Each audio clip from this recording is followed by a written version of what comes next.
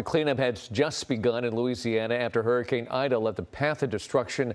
The damage is widespread with homes and buildings partially or completely destroyed. Other areas dealing with heavy flooding. President Biden promising full support from the federal government. And Eyewitness News reporter Alex Cheney joins us live for the newsroom with all the details. Alex?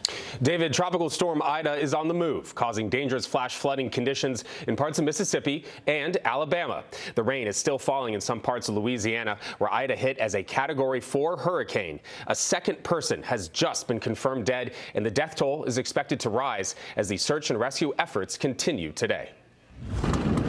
Search and rescue efforts underway across the Gulf Coast after Ida slammed into Louisiana as a Category 4 hurricane, killing at least one person. No one has any cell phone service or anything, so it's just a it's a waiting game. Heavy rain pounding the state for hours, causing severe flooding, punishing storm surge, widespread power outages that may last weeks in the hardest hit areas, and the rapidly rising waters trapping some people in their homes. And we had to deploy boats at four o'clock this morning and, and do uh, water rescues. We took uh, about 15 people off their the roofs of their homes. A lot of people had hunkered down in the houses since last night, so they're just getting pulled out of the houses today. Debris and standing water making it difficult for first responders to access some of the hardest hit areas, forcing residents to take matters into their own hands. A couple of people behind me have a lot of friends and family out there, so uh, I got a fairly decent sized boat, so if I can get a couple people to ride with me, we'll check on everyone once we get out there. Ida has weakened as it moves inland. But with heavy rainfall, drainage systems without power,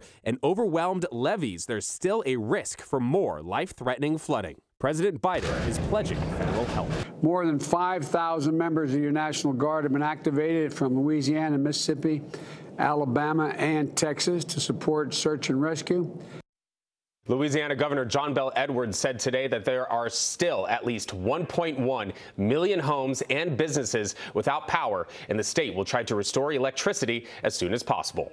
Hello, I'm Marc Brown. Get more great ABC7 content by clicking the subscribe button for our YouTube channel and download the ABC7 Los Angeles streaming app on Fire TV, Android TV, Apple TV, and Roku to watch on your TV.